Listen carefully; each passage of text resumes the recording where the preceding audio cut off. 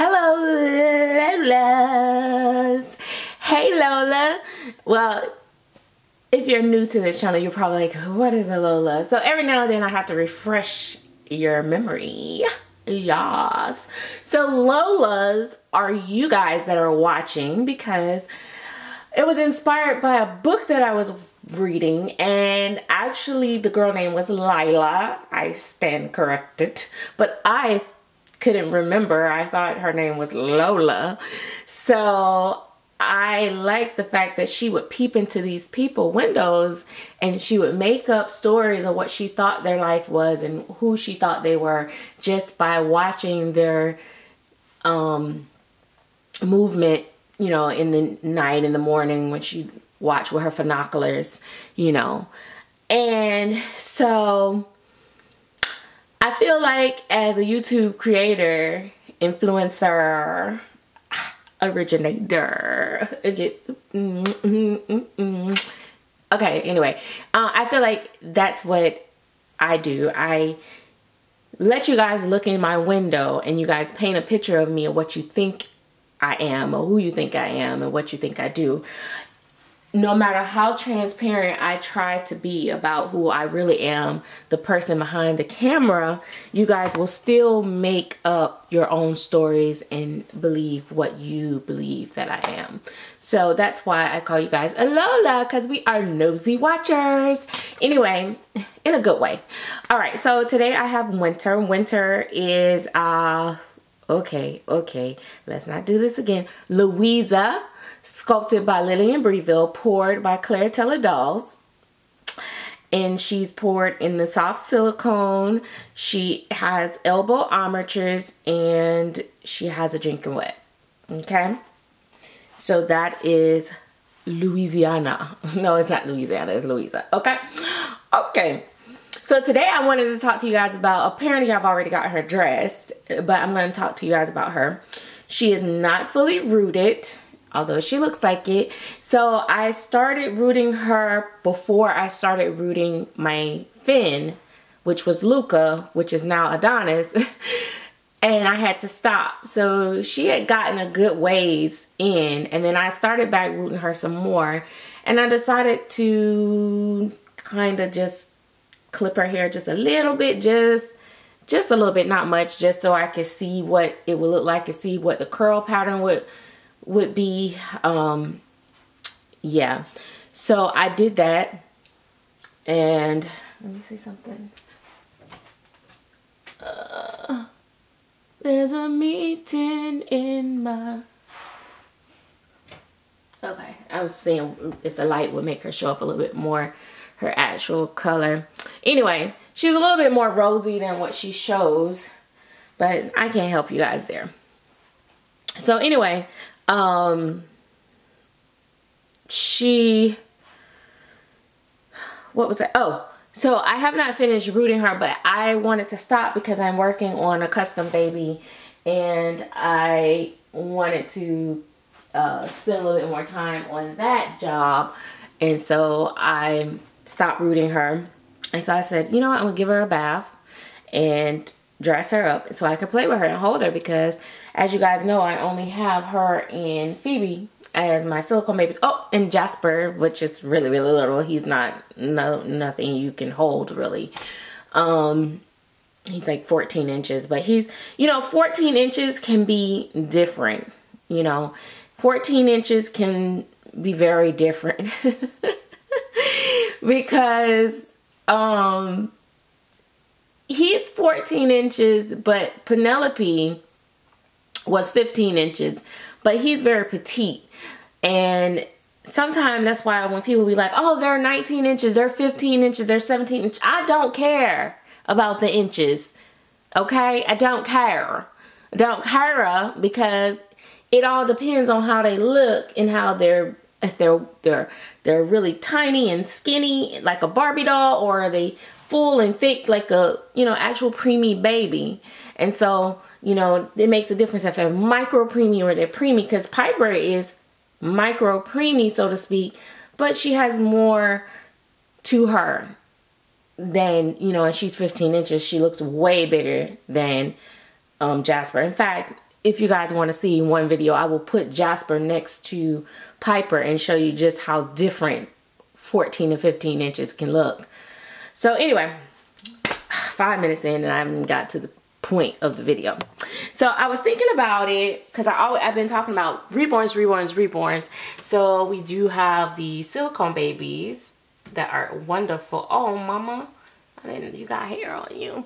All right, so here's the thing with the silicone babies. So everybody's like, what's the big hype about them? I don't see, you know, they're sticky, everything stick to them. You gotta be all extra careful. They get tears, they get rips, the paint come off you know, the hair falls out, it can't be sealed. You hear all these horrible things about these little lovely little booger booger roogers. Look at this little squish, squish, squish. Um, you hear all these cons and then you hear some people that talk about them and glorify them and over glorify them sometime even.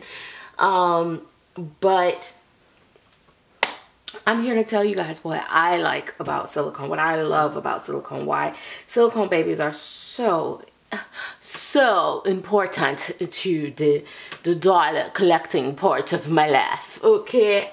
Okay so as you can see her little flop. Look at that little flop flop flop flop.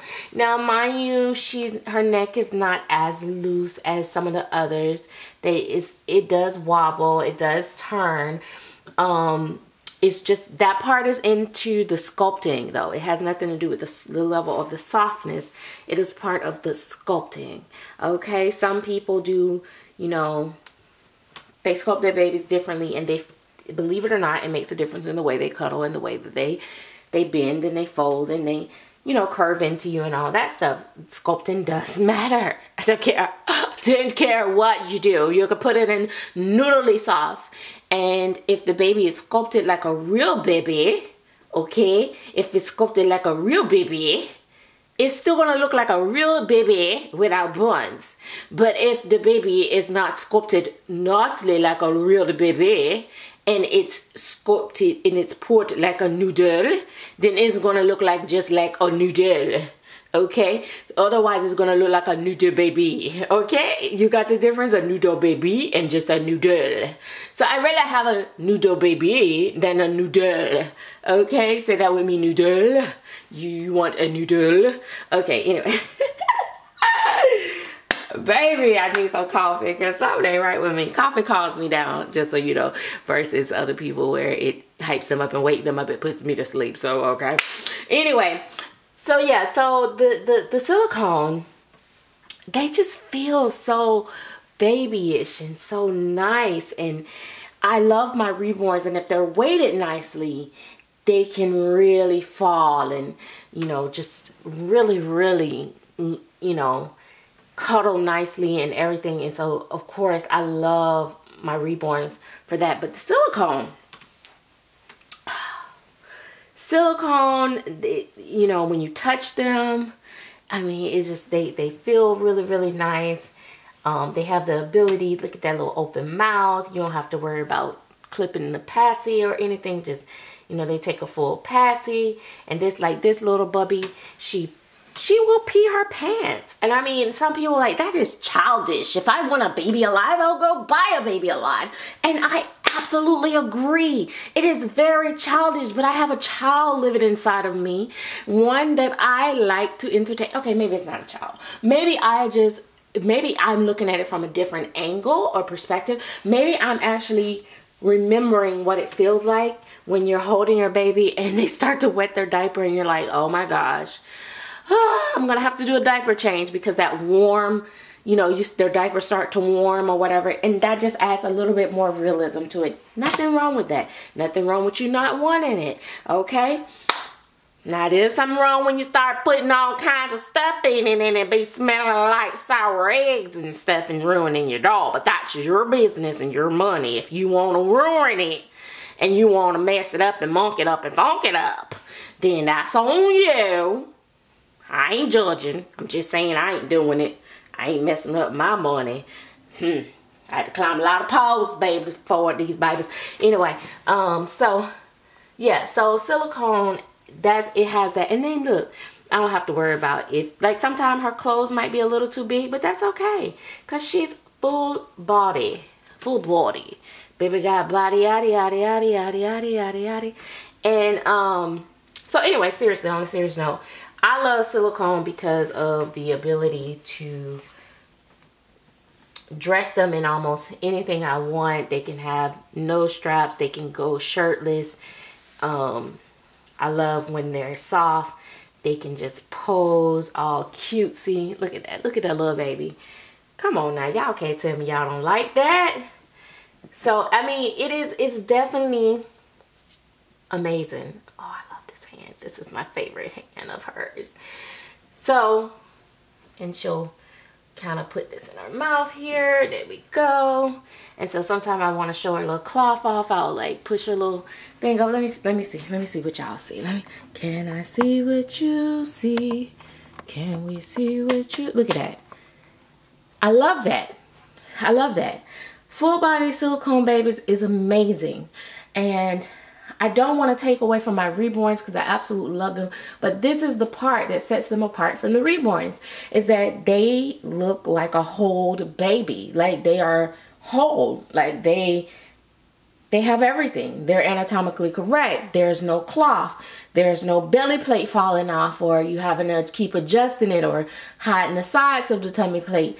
It is all one solid piece. It is amazing. It is amazing and different pourers pour different and everybody have their preference if they like softer or firmer. It doesn't really matter. In silicone i won't lie even the firmer baby full body has that that realistic you know feel going on. So she got the back most of the back of her hair done. Look see the top the top is out child. Look that baby is born. Look at that. So she, we just, we, we, we getting now, we getting now. But I don't want to get out with all that hair all over again. So it's to be a while. I just, I just needed a baby to cuddle, guys. I've been just like, I want to hold her. Like, you know, I just wanted to hold her, dress her. And I'm so excited that she's getting here. It's like I'm so close to being able to put her on all the little clothes that I bought for her. Like probably, how long it's been since I've had Wynter? I don't know. But I'm finally being able to put her on some of the clothes. Now this wasn't one that I bought for her, but it just looks so cute on her. And so when I get through, I'll look her over and I might touch up a shine spot or so that she have on there. I might not, I might not bother with it. Um, you know, silicone is just, it's amazing. It's not a flawless, um, what do you call a medium it's not you know when you get a vinyl kit the vinyl kit is smooth. It doesn't come with any type of flaws or discrepancy in the vinyl typically. If it does it's a defect you send it back and return and get another one type situation. But it's not silicone does not come like that. Silicone sometimes comes it might have a bubble it might have a little small tear that you have to repair. It might have unevenness it might have a, a, a a patch of where the color, where the sculptor, when they poured it, they had to patch it and it don't quite blend with the rest of the silicone. You know, it could come with a little bit of roughness here or there or something. I don't typically typically like to buy from those that sell those like that unless I knowingly buy it as a boo-boo baby and I have done that at least twice. Um, but you know, it's it's it's not a perfect thing. And when you're painting it's not as perfect as and seamless as some of the reborns can be because I'm assuming reborns they don't be seamless either. Let's be honest. I mean this is handmade art. Some may call it art some may call it craft. Whatever the hell it is is handmade. And handmade mean it's not to be perfect because if you are perfect then you are okay y'all fill in the blank. But anyway that's what I love about the silicone. I love soft silicone. I know people say, it doesn't have bones. I don't care. I don't want it to have bones. It don't have to have bones. You know, we like what we like. If you like it firmer, fine. You like it firmer, that's great. I have friends that prefer the firmer. I have friends that prefer the sloppy, noodly, goodly. I do think there's a point where it's too soft for me, but I live on the edge. okay? Okay. Um, I do have my preference and who I think so far that I've experienced that have the best, you know, pour and color of the silicone and stuff, but that's just my personal preference. And my personal preference does not have to be yours. We don't have to agree on that, do we, Puka Wuka? So, yeah, but yeah, so she got on her little, look, a little, little pampy, a little pampy, oh. And that's another thing, right? So, Louisa don't have like this perfect diaper balm or whatever, but look at her you put on a little diaper and she looks just cute and she looks like she got the cutest little diaper bum, right? Um, these dolls aren't perfect. The sculpting is never going to be perfect. It's always going to be something you don't like. It's the deal breaker for you. Not what your friends think, not what your your your spouse think, you know, it's what is the deal breaker for you. It's what makes you fall in love with the doll. Um, for me, there are some things I can skate past and override. And there are some things I, I can't. Like, I don't like really curled up, balled up legs. I hate them. I hate legs in weird, awkward positions in silicone because you're stuck with it that way. You know what I mean? Like, you can't, silicone is not like vinyl reborns where you can twirl the leg up or twirl it down. I, it, you can't do that with silicone. Once it whatever position the baby is in for the most part you you're pretty much stuck you know granted without like you know the armatures or the soft silicone now you can you know lift it up or pull it down look at that here it's a mess it's because it's not like i said it's not um fully done or cut or anything so but yeah so it's it's um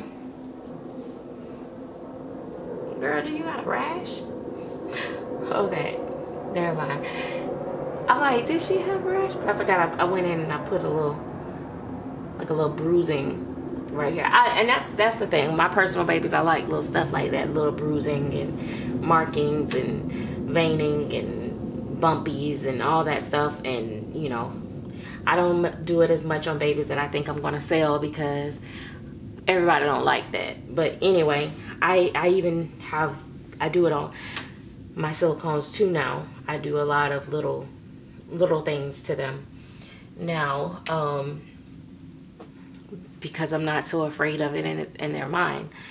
But yeah, so silicone, it, it's, it's very expensive, but it's so worth it um, when you get one that you love. Like I, I, I love them. Like I, if they wasn't so expensive, I would collect a lot of silicone, to be honest. But but then maybe not maybe not maybe i wouldn't because there's not much out there to choose from that you know within my likes i guess i should say but anyway that's my spill on silicone i think silicone definitely still has its place in the market. I just don't think that it will take over and shut down reborns like i once thought because i really thought at one point that everybody was going straight silicone and people wouldn't buy reborns or reborns wouldn't have such an importance in the industry um, over time. But it appears that um, that they that it do it does it it still has its place um, here. it still has its place in in today's market, which is pretty cool because I thought at one point that everybody was going silicone crazy and that reborns would just be done. Um, so yeah. Anyway, um, I'm still learning too. She has two different blends of hair in her head because the first hair that I was using, I like the color a lot. And I think it's nice hair but I was told that it was curly. But I don't think that it's curly as I was told. So um, I've kind of blended it with some other mohair that I'm more used to and that's just that. It's like it's hard to find curly mohair. I don't know, like do they not have black goats or what? I'm just kidding. Um, but yeah, it's just it's it's harder to find the curly curly hair, nice curly mohair and that's why a lot of people are putting human hair in their newborns and stuff because they can't find curly mohair. I don't particularly like human hair in my small baby's head. I think the follicles are too thick. Is that the follicles? I don't know. But I think it's too thick. The strands are too thick. I think that it, I don't know, it just doesn't give me baby-like mohair. Mohair is more thin and I guess you could get some really nice, expensive, really super fine human hair maybe and make it work. Um, it looks good, but I just, I personally prefer mohair in my smaller babies. Um, unless you really trying to get that afro afro look and then even then I like the look but I don't necessarily love it as the feel but that's just me and my personal opinion um, I just I prefer mohair but anyway I'm gonna go and um, she doesn't look good with a pacifier, guys. So you probably won't see her with a pacifier as much other than just as a prop. Um, she just doesn't look good with a pacifier. I haven't found one that looks good on her yet, but we'll see. Um, Phoebe got a pacifier right now. It's so funny. She's in my room and she's like holding the pacifier like this. So if somebody walks in there, they're going to be like, oh my gosh, that's so cute. She's holding her pacifier. But yeah. Anyway, that is that. I love my little Louise. I love her little lips. Love her little life. Oh wait, she's a doll. She doesn't have a life. We have to keep saying that because people think we think they're real when we absolutely don't. We know they're not real. But anyway, they're real to us. So anyway, that's it. Um, let me guys, let me know what you guys think. I know this video is crazy, but oh well. So it is. So it is. We'll talk to you later. Bye-bye.